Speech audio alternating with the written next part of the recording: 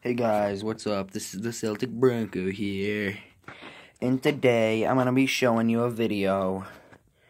But not an ordinary video because I just did an awesome sketch. This is my Monster Legends sketch number one. Uriel. By me, but the original art was by Social Point. His rarity, he's of course legendary. He's light and legendary. Now, here he is. I think he looks pretty good compared to the original, but I don't know. Um, it's nothing perfect, of course, but this is what I have. So, hope you guys like it. And then here's the description. Come on, show up. Uriel, the light of God, existed before any monster walked. Come on, focus. hate this thing.